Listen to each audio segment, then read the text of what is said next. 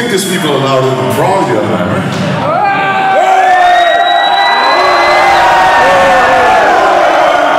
just to make sure that you actually are louder than Braun.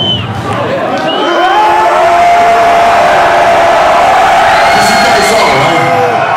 As far as I remember, every time we come here to Bratislava, you guys prove to us that you are the wildest, meanest, motherfucking metalheads in all of Europe!